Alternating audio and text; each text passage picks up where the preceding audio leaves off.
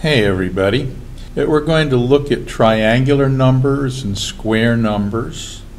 And we're going to do some work with dot diagrams to prove some, uh, some fundamental facts about triangular numbers and square numbers. Uh, First of all, let's define what a triangular number is. For all natural numbers n, the nth triangular number, denoted t sub n, is the number of dots used in constructing a right isosceles triangle which consists of n rows and n columns of dots. The first row or first column contains one dot, and each succeeding row or column contains one more dot than its predecessor. The nth row, the last row, or the nth column contains n dots. So let's do a few examples here.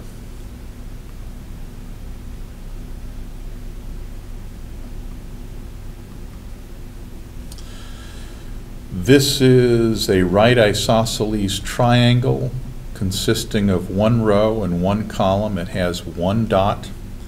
So t sub 1 equals 1, the first triangular number. Uh, let's pick a, a better one. Well, no. Let's just work inductively. Not better, just uh, more illuminating as we go on. Okay, the first row or first column has one dot, and then each succeeding row has one dot more than its predecessor. So row 1, row 2. This triangle contains three dots, so that's the second triangular number. Uh, let's do at least one more example. There's row 1, column 1, has one dot. Here's row 2, has two dots. Here's row 3. It has three dots. Also note column 1, one dot, column 2, two dots, column 3, three dots. Okay. Our third triangular number has 1 plus 2 plus 3 is 6 dots. So the third triangular number is 6 and so on. Now if we were to continue this and uh, construct our fourth triangular number, uh, we'd have a row of four dots down here and that means our fourth triangular number would be 6 plus the four dots down here, 10. Okay? Now, let's define square numbers.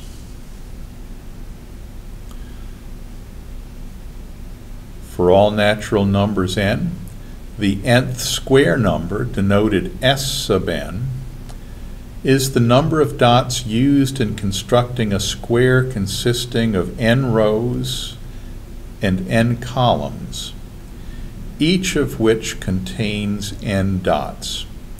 So we have a square made out of n rows of dots, uh, n rows of n dots, or n columns of n dots. So the nth square number clearly is n squared. Let's look at a few examples. Here is s sub 1. It consists of one row and one column of dots. So the first square number is 1. Okay. Now we have two rows each of two dots, or two columns each of two dots. So this is our second square number. Four dots total. And we'll do one more. One, two, three.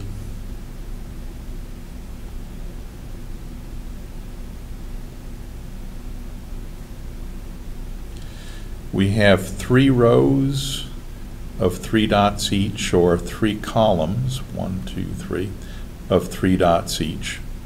This is our third triangular number, S sub 3, and that equals 9. So these are our triangular and square numbers.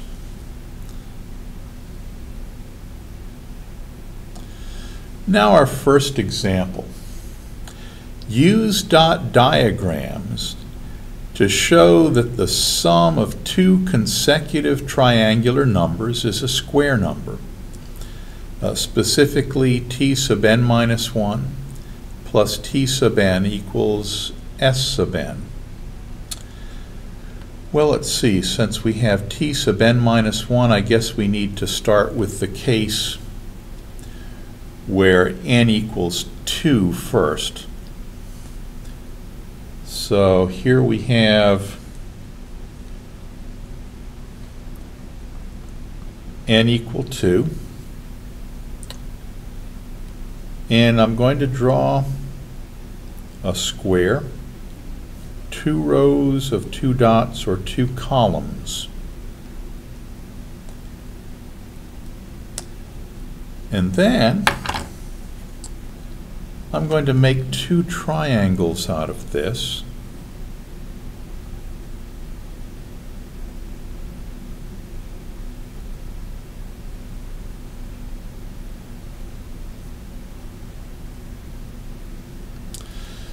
And look what I have. I have t sub 2, the second triangular number represented here. And up here I have t sub 1, the first triangular number.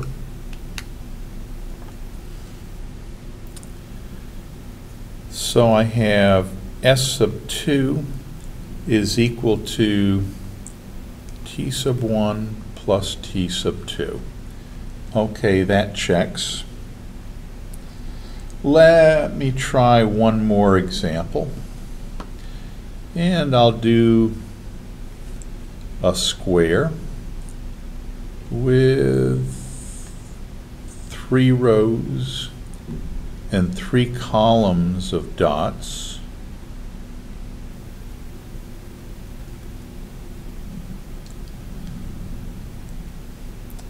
So let's see, we have three rows and we have three columns, three, three horizontal rows, three vertical columns. So this is S sub 3. Now we're going to split this up into two triangles.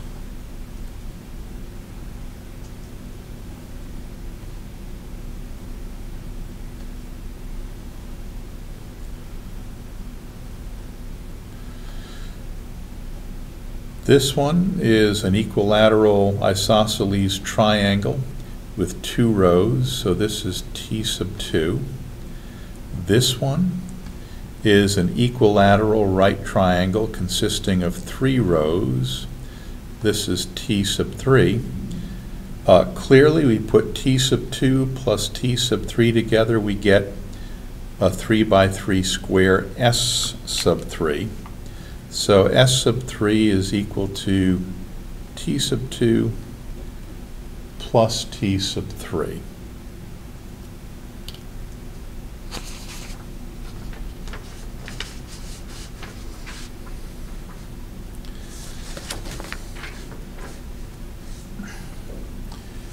Now let's just uh, generalize this a little bit.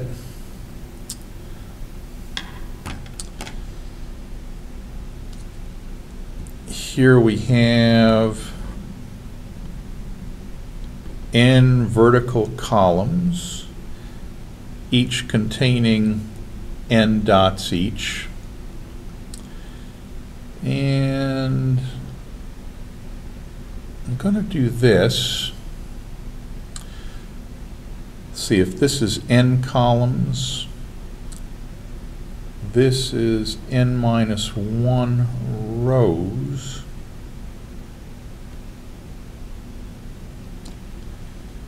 And if I include this last row here, that will give me n rows. So I have n rows, each with n dots.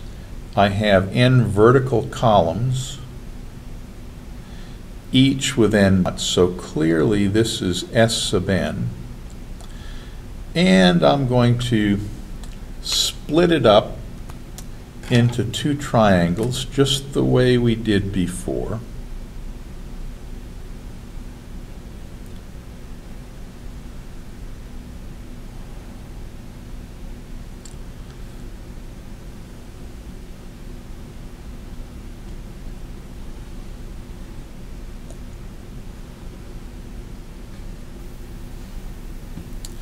And guess what?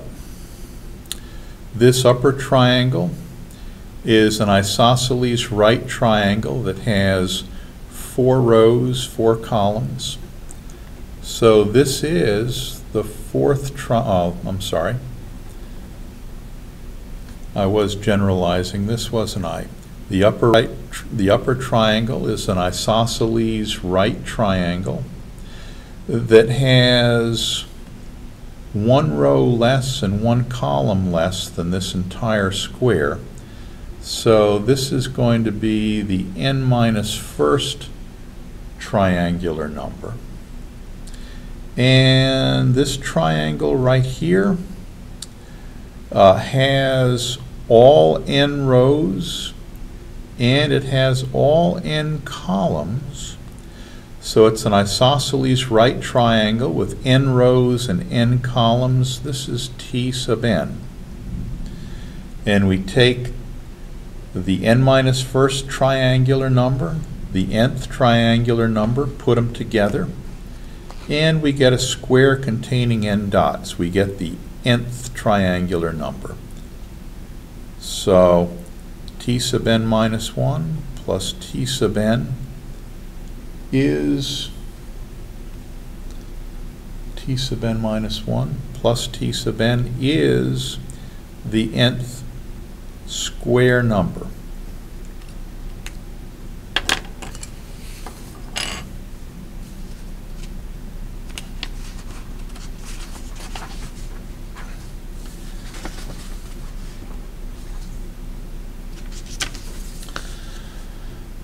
Huh a new project.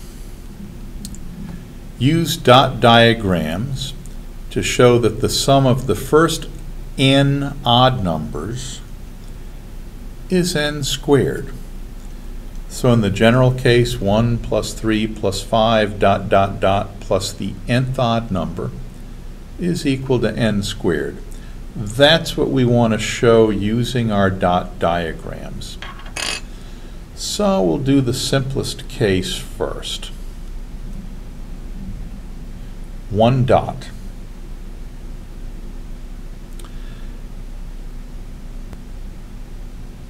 So here we have the first square number, and it equals the sum of one number, the first odd number. Okay, so far so good. Uh, let's modify this a little bit.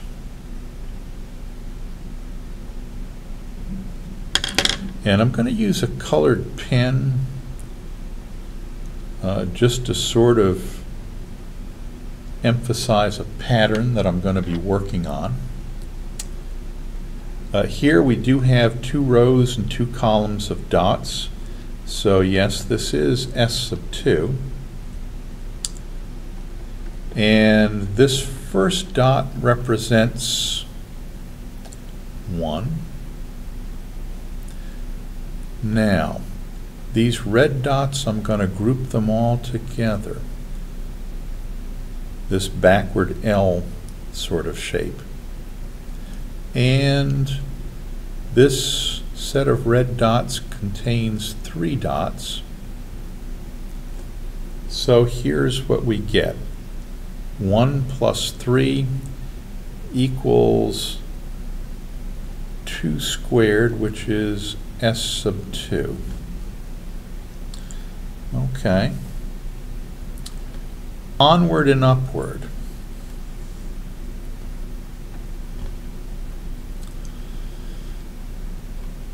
Let's try a, a configuration with three dots across and three dots down, three rows, three columns.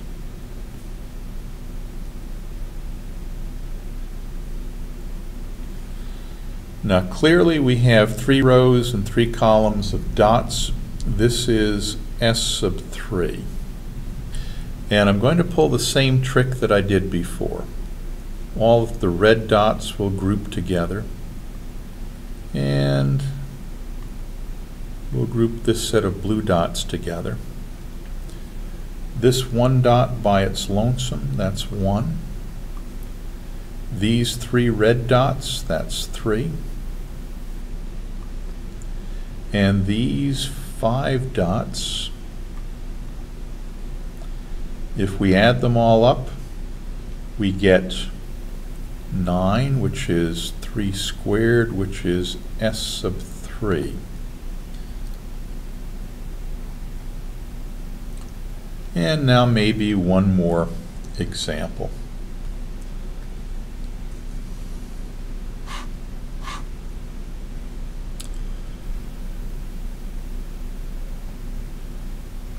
four rows, four dots.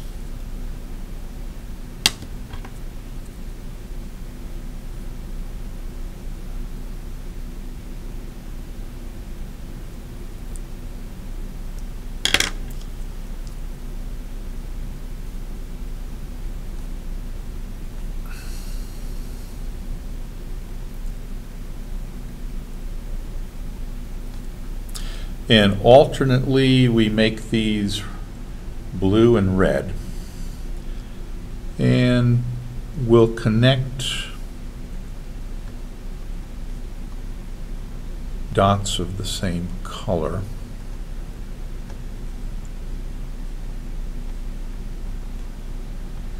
Now we have four rows of four dots each. This is S sub 4. This one dot is 1. Then we have three dots. Then we have five dots.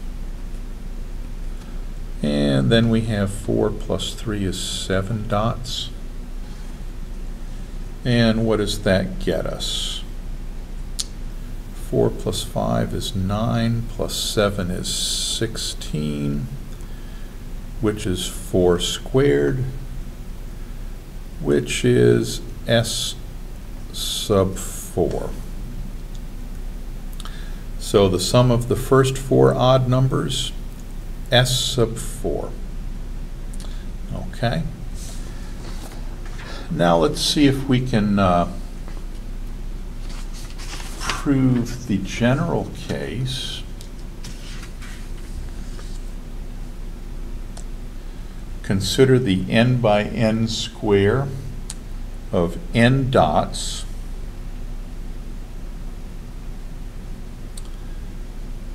and this guy is just by his lonesome self, that's one. These three red dots we connect. Plus 3. These five blue dots we connect plus 5 plus dot dot dot plus. Okay, now let's see what we have here. Uh, remember, this is an n by n square of dots.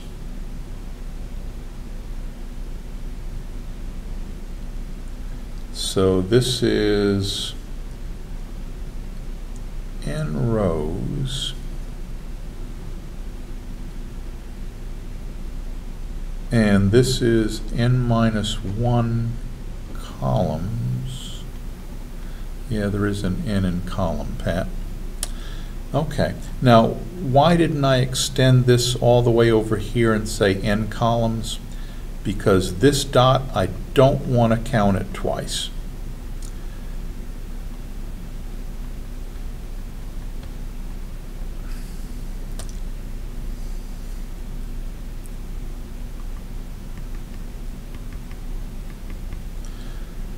So, I have, how many of these? There are n rows, so there are n dots. And I'm not going to count this guy twice, so now I have these n minus 1 dots. So that gives us 2n minus 1. So how many dots are there? There are 1 plus 3 plus 5 plus dot dot dot plus 2n minus 1. That is the sum of the first n odd numbers. And this was an n by n square of dots, right? So this is s sub n. And I'll write s sub n down here for emphasis. Yeah, we started out with a square of n rows and n columns of dots. So this is S sub n.